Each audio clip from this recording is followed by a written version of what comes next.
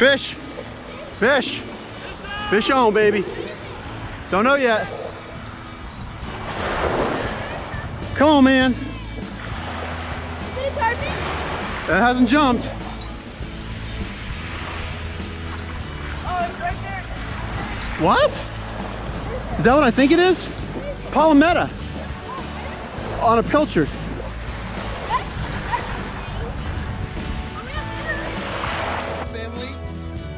Have this big long dorsal fin, big long anal fin, uh, which separates them out from the pompano. There is no size limit on these guys. They taste wonderful. Uh, usually these guys eat shellfish and you can catch them on sand fleas and whatnot, but I just caught one on a pilchard, which is totally out of the norm.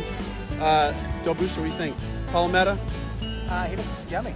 Hi folks, this is David Fine and this is a catch and cook episode. We had this incredible palometa slay on the beach the other day and it's not a fish that a lot of people catch normally. We usually catch one or two and it's a small fish.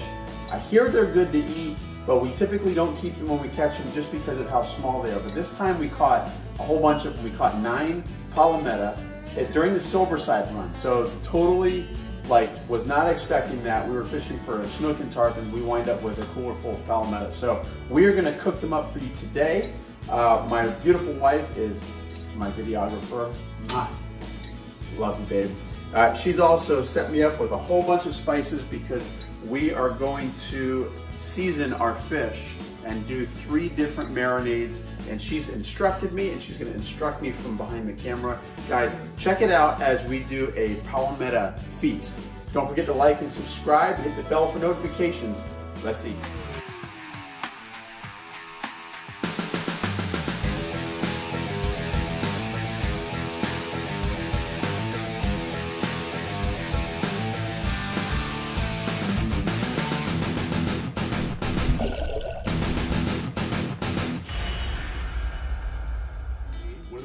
Lorenzo? Palmetta. Palometa. All right, so this is actually in the same family. It is in the pompano family.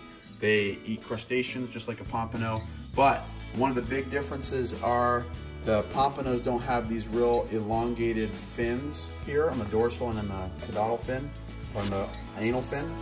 And also, pompano don't have these really cool stripes like the palmetta does. Uh, the pompano needs to be 11 inches from the nose to the fork of the tail. Uh, these guys, there is no size limit and no bag limit, so and there's no season. So palometa are game, um, but I'll, if they're any smaller than this, this guy is about probably about 11 inches to the fork of the tail.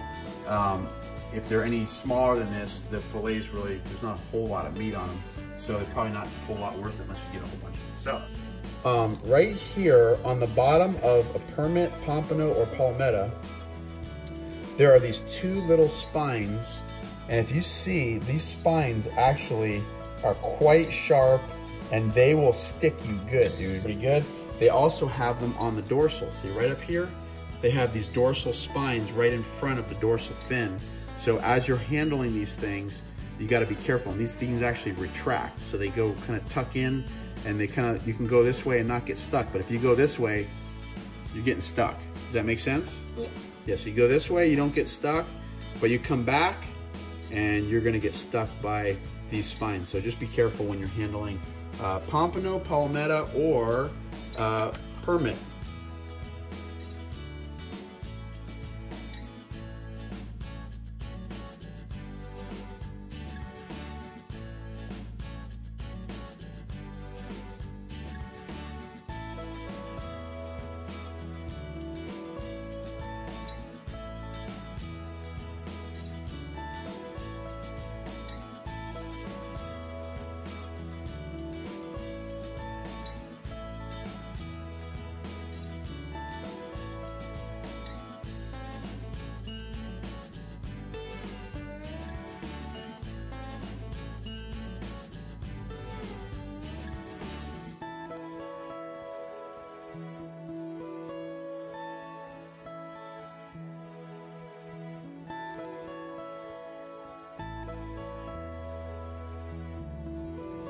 Right, that was awesome, guys. I've never done that. I've been fishing, beach fishing for 25 years, and I've never just thrown the line in one after another catching palmetto. So that was super cool. Now it's time to eat them. We filleted them already. And guys, I want, I want you to come on in here, babe. I want to show you these fillets real quick. One of the things that I noticed when filleting this fish is they actually had a very big bloodline.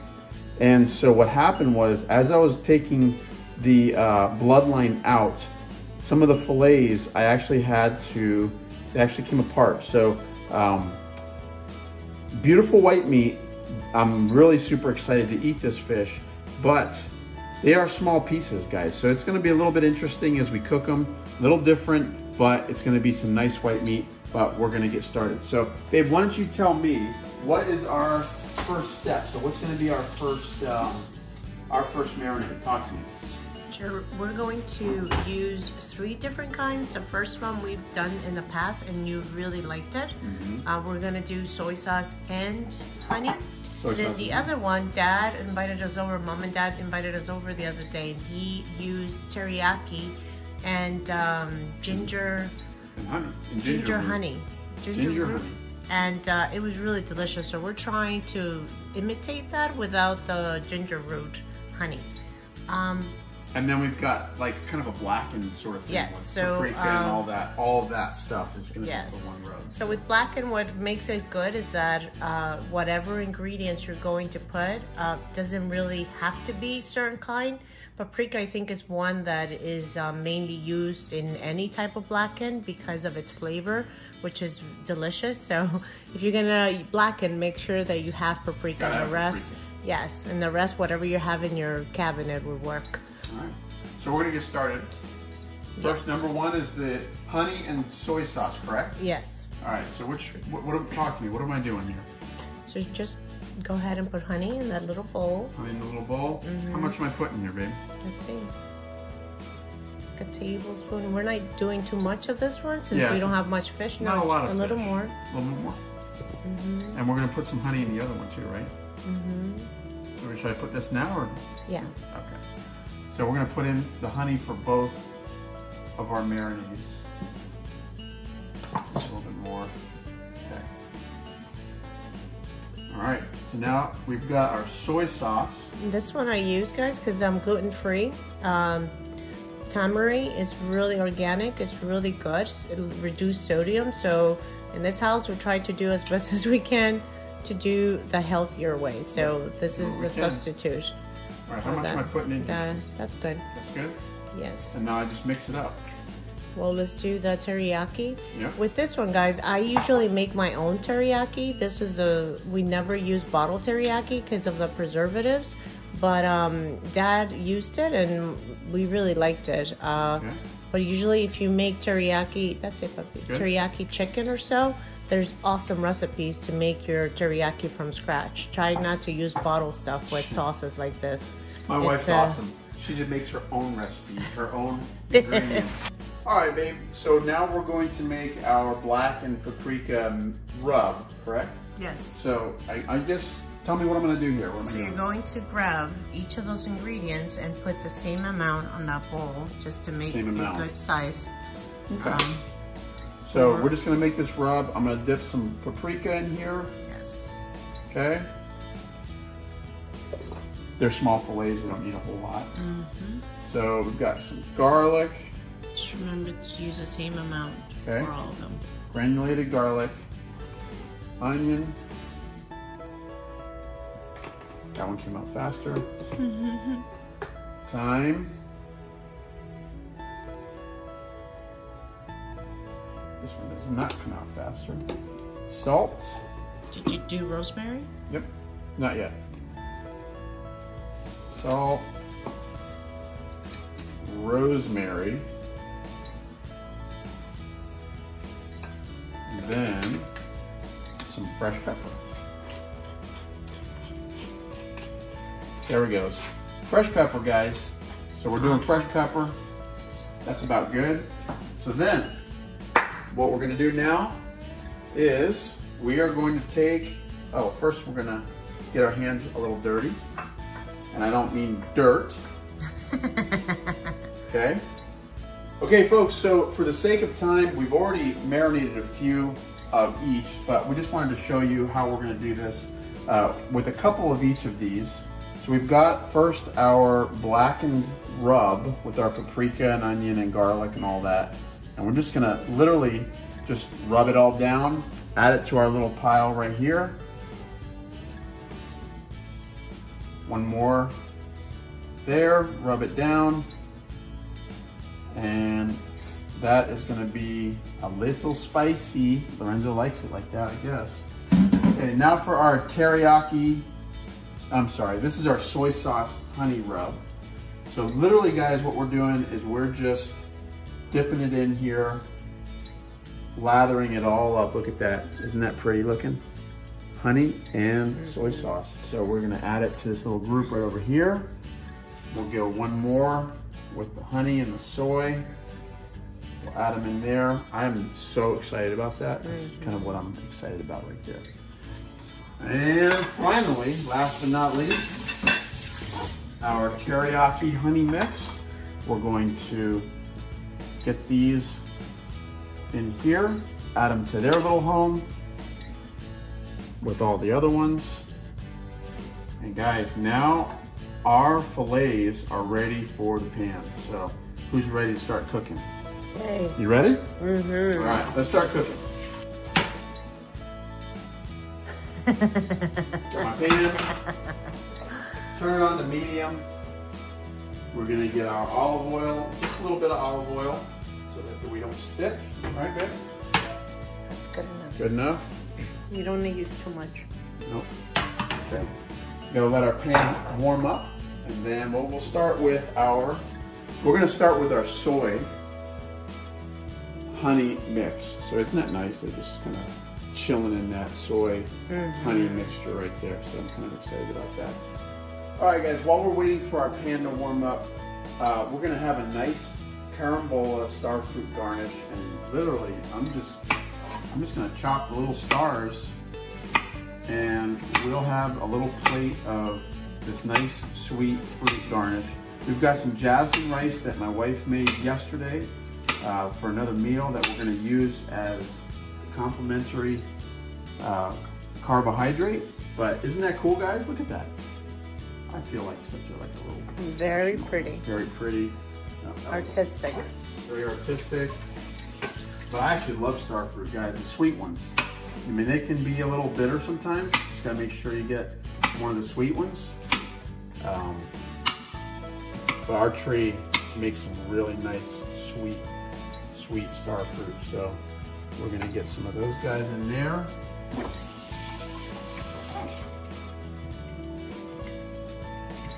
Before we had our own, Eric Purdick would bring us Yes. Lots of uh, star Oh, fruit. Dude Purdick had a tree and the thing was loaded like half the year. So um, now we have. I think a- that's what got us into it. Yes. Yeah, I was never much of a star fruit guy. Because we never tasted the sweet one. Yeah, the only ones that I ever had taste like battery acid. so um, I didn't realize star fruit was such a nice sweet thing. You know, they've got a little bit of a citrus, kind of like a tin tang to them, but um, some of the, the sweet ones are really good. Our tree is really nice. So. How does it feel to go and pick pick it off your, your tree? It was wonderful. You know, that's the great thing about living in South Florida is we can we can grow stuff all year long. Just put stuff in your backyard. All right, the oil, guys, is starting to starting to smell the oil. So it smells like it's ready, guys. I'm gonna take our soy sauce and honey fillets. Careful with your fingers. Yeah, buddy. We're gonna lay them down in here. And so what we're just gonna do, we're gonna leave these in here for a couple minutes on each side and uh, flip them over and then be ready to eat them. All right, guys, it's time to flip. We're getting a little bit of a browning going on there a little bit. And uh, that's super nice, guys. I like it. Mm. that guys, that is honey and soy. So we have, those guys are done. Now we're gonna jump to our blackened fillets, and the reason is because that one was really messy. It was throwing the oil everywhere, so uh, we're gonna save our um, teriyaki, honey teriyaki one for next, or for last. So, all right guys, let's start with the blackened. That's a lot less messy. Oh. Yeah, you don't want to. Good? Mm-hmm. All right, guys, this is the blackened one. We've got our soy sauce and honey. We've got our blackened, the, the smell that this puts out into the air is absolutely incredible. Literally, I So, smelled it from my room, and that's pretty far away. It's incredible. So, guys, our last one is our, um, which one is this? Teriyaki and honey. So we are gonna start cooking these bad boys.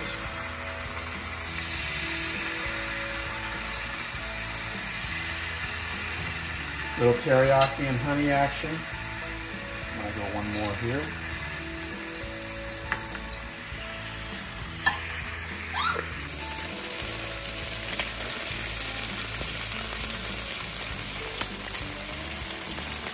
Okay, folks, so now we have our Palomit. Lorenzo's dying to get in and bite on this fish. Okay, get out of the way, kid.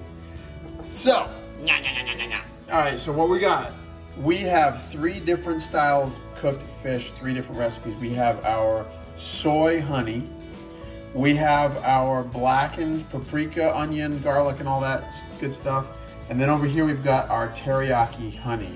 So what the kids are gonna do, the kids and I are gonna do, we are each going to take one big bite of each of them with a piece of star fruit in between to cleanse our palate, and we are gonna see which one we like best. Lorenzo's up first. Lorenzo, let's try first our, this one is our soy sauce and honey. Take a nice big chunk. All right,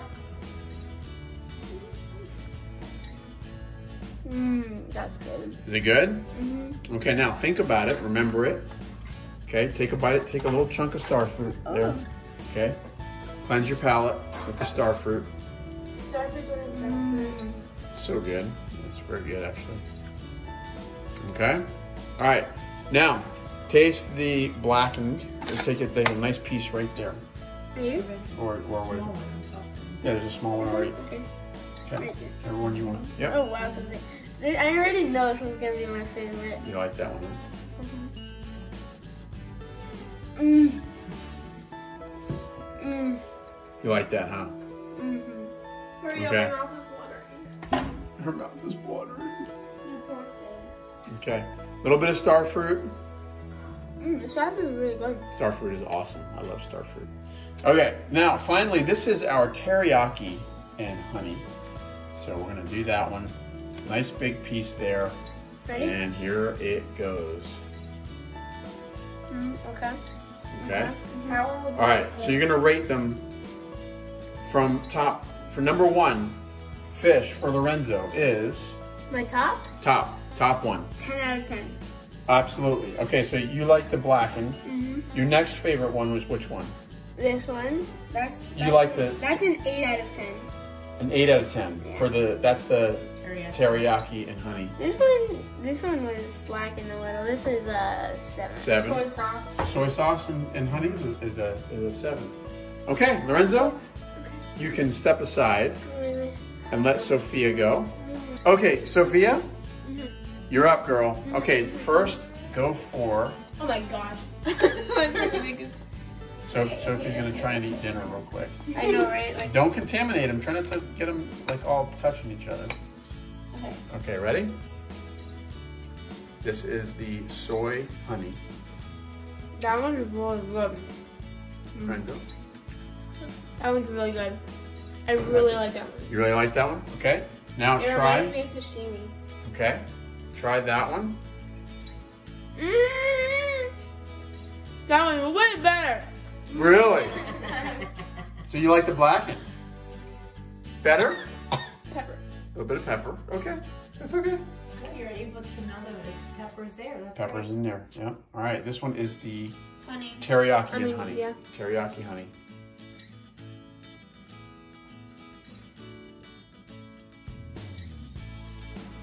Uh, Can I taste this one one more time? I forgot. Here we go. This is this is how I got left with no with no fish the last time we did this. Okay. All right, so how much out of 10? Nine out of ten. Okay, so you're giving the blackened a 9 out of 10. Yeah, and What about this these, one? these two are really close for me. Okay. But Lorenzo was right. It's really slacking something. So this one, the, the, the soy and honey is lacking something. Yeah, that one's Okay. lacking something. So what would you But, give that, a 7? I would give that a seven and a half, and I would give that one an eight. Okay, They're so, really close. so we've me, got but- seven and a half for the soy and honey. We've got an 8 for the teriyaki and honey, and we've got nine a 9 and a half. and a half for the black. So like this, these two are really close, but like Lorenzo was right. It's like really plain okay. and Okay. All right, my turn. I can't wait. Okay, folks. So I've been super sweating this um, soy honey recipe. So I'm gonna go ahead and dig in. I'm gonna take a nice little piece right here. This is the soy honey. you call that little? Mm, just bit my cheek. Get away. I think you're right. I think it is lacking something. Slacking. It, it is lacking something, yeah, for sure. Okay, this blackened. Actually, He goes for the wait, biggest hold on, piece. Hold on, hold on, hold on. Mmm, dog food. Oh, I forgot to do that. Oh, yeah. Okay, blackened. Here we go, guys. Oh, wow, that's good. Yeah, that is definitely better. Okay. A little bit of star fruit. Actually, I want to take it myself. Sophie's eating instead of filming me. Story of my life. All right. Here we go. Now for the teriyaki and honey.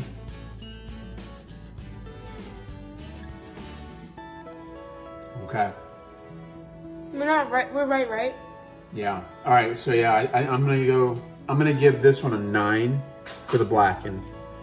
I'm gonna go with an eight for the teriyaki, and I'm gonna go with a seven for the soy. I, I don't know what this one is missing. Maybe it a little it is missing like something. pepper Yeah. or something. What? What? Something, Why are you guys something. hating? Why are you guys hating the blackened? I don't know. I just gave it a nine, dude. Why you? I gave it a nine and a Why you giving it at a nine? I gave it a ten. I All would right. say it's Well, then because a ten is like sashimi tuna. I know, something. right? Like you can never like top that. All right, guys. So hope you enjoyed this episode on our Palometa Feast Slay Taste Test, whatever you want to call it.